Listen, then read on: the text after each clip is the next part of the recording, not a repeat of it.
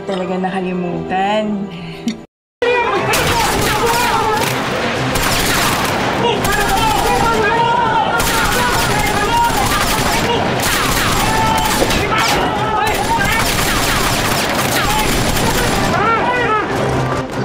Ayos ka lang! Camille! Ayos ka lang! Opo! Ito na kayo. Ligor, sasama ako. Hindi na! Diyan ka lang! Kita mo yan? Kuya, tanggol mo may kagawin yan. Kahit ano kasama tingin mo sa kanya, hindi magagawang barilin ko itanggol ang sarili niya pamilya. Yung asawa mo, malinaw na malinaw na kinakampihan niya si Tanggol. Kaya pwede ba kausapin mo? Nagtatakbo ko yun. Tanggol na yun sa pagtulak niya Elena. Walang nagtutulak kay Lina! Tumamig ka! Ginawa sa kwarto natin? Sa pinaghirapan ko?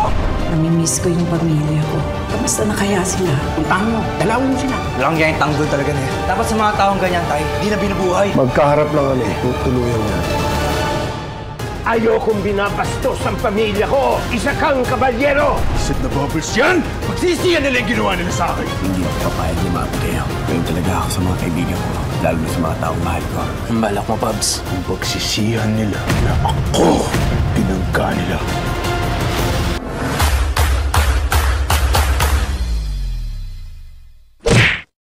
Sa pagpapatuloy ng ating serye, kumusta na nga raw ba ang bisita ni Pablo? Ito raw ay isang waitress sa isang bar, kaya si Batina ay disappointed kay Pablo. Iba raw talaga si Pablo, masyado raw kasi na-spoiled, kaya di sumusunod sa mga bilin nila. Kaya si Catherine daw ay bilis-bilisan ng pakikipagmabutihan sa kanyang future husband na si Jesus, kahit ayaw ni Catherine, na kapag sinungaling siya sa kanyan mamita na maayas naman daw ang pakikipagkita niya dito. Mahirap daw makahanap ng ganong lalaki. Gwapo na at mayaman pa, at ang gusto lang raw niya ay pakasalan siya bigyan sila ng mga apo, at huwag raw gayahin si Pablo, saad ni Mamita. Sagot naman ni Fecondo na di raw niya maintindihan na bakit naiinis ito kay Pablo gayon pinakilala naman nito yung babaeng gusto nito, at kay Catherine pinipilit daw nito yung taong di naman niya gusto. Kaya agad pumunta si Catherine kay Manang Tindeng para sabihing hindi niya gusto ang nararamdaman niya, ayaw niya raw na nagsisinungaling siya sa kanyang mamita. Ang totoo raw sa kaibigan siya nakipagkita at doon daw siya naglabas ng sama ng loob. Payo naman ni Tindeng na subukang mas kilalanin pa yung manliligaw niya, at kung may makita raw na hindi gusto mas makakaharap na raw siya sa kanyang mamita at masasabi na niya sinubukan talaga niya, at siguro naman maiintindihan na yon ng lola mo. Ngunit bigla napansin ni Catherine na sinasagot na ni Tindeng mga tanong niya, ayon naman kay Tindeng pinayagan na raw siya ng kanyang lolo na makipag-usap sa kanya, kaya kung kailangan daw niya kausap andyan lang daw siya.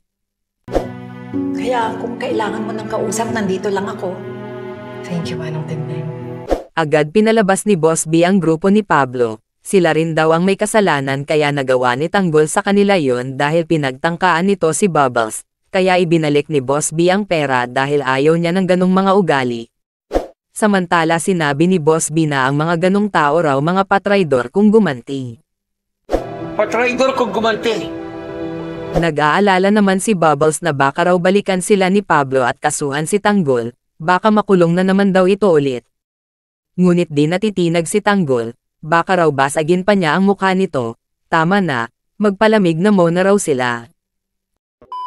Samantala, gulat naman si Bettina sa pagdating ni Pablo dahil duguan ito na akay-akay ng kanyang mga alalay, at ano raw ang nangyari. Agad rin naman lumapit si Senyor Facundo para alamin kung anong nangyari at kung sino ang may gawa. Ngunit sagot ni Pablo relax lang daw, wala lang daw yun, at napaaway lang raw siya. Kaya agad itong inasikaso ni Mamita para magamot ang mga sugat nito. Sa pagkatataon iyon, nakapaghingi ng sorry si Pablo sa kanyang mamita dahil sa mga nasabi nitong masasakit na salita nung nagkasagutan sila. Dahil nakapagbitaw ako ng masakit na salita.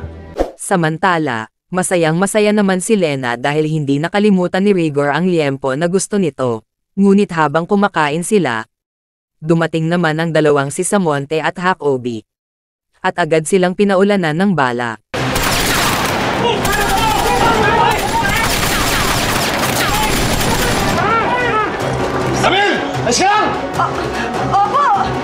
Buti na lang wala sa kanilang tinamaan, kaya agad ni Rigor kinuha ang baril. Para makipagpalitan ng putok, Agad niya itong binaba at hinabol, ngunit nakatakas ito, nakita niya pero hindi ang mukha nito. Agad kinausap ni chairman si Rigor na e-report na raw ang nangyari, para maimbestigahan na raw agad. Ngunit hiling ni Rigor wag na raw e-report, at sigurado daw siya may personal na galit gumawa sa kanila nun. At ibalato na lang raw sa kanya yon sa ad ni Rigor.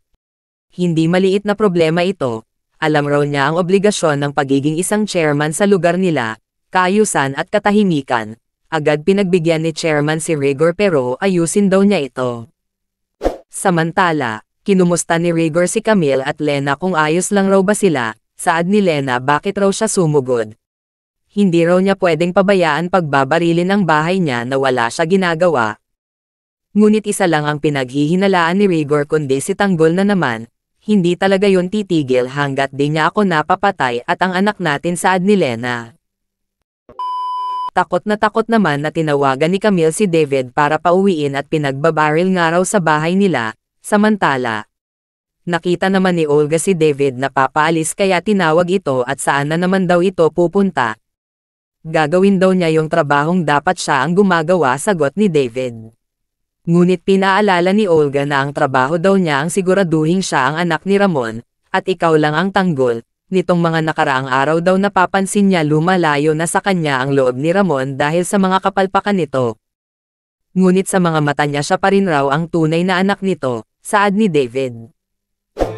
Ako pa rin. At ako lang. Ang tunay niya anak. Gulat na naman si Tess na si Tanggol ang pinagbibintangan ni Rigor na gumawa sa kanila nun, kahit di naman niya nakita ito. At si Tanggol lang raw ang gusto gumawa niyan at gusto raw gantihan siya at patayin ang anak nila ni Lena. Sagot ni Tess na ganyan na raw ba talaga ang paglason ni Lena sa utak niya, at pati raw siya pag-iisipan ng masama, at saka raw hindi kaya gawin ni Tanggol sa kanila yun, at di na kaya saktan ng sarili niyang pamilya. Kilala raw ba nito anak niya at kung saan umabot kasamaan nito? At alam mo sa puso mo na kung gaano kawalang hiya anak mo sagot ni Rigor. Alam mo sa puso mo kung gaano kawalang yang anak mo. Agad napansin ni Rigor si Roda, ano raw ginagawa nito sa bahay nila. Si Tess na raw magpapaliwanag at kailangan na daw niya matulog. Sa pagbukas ni Roda ng kwarto agad nito nakita si Lena, sabay sabing may jumper at ilegal na kabit kaya ayaw niya raw dun, at saad din ni Roda magbabayad siya. Ngunit galit si Rigor kaya palayasin daw yun. Ngunit si Tess naaawa kay Roda dahil wala itong matutuluyan. Ang gulo-gulo na raw ng bahay nagdagdag pa si Tess ng isa pang magulo, Bayad nga ako ng upa! Pandagdag sakitan nyo rito sa bahay na ito! Sagot naman ni Tess na may punto si Roda, at yung ibabayad nito pandagdag na niya sa panggastos, kasi nga daw pinagpipilitan niya na hati sila ni Lena sa ibibigay niya. Agad naman nagpasalamat si Tanggol kay Bubbles dahil siya na lang raw ata ang naniniwala sa kanya na mabait siyang tao.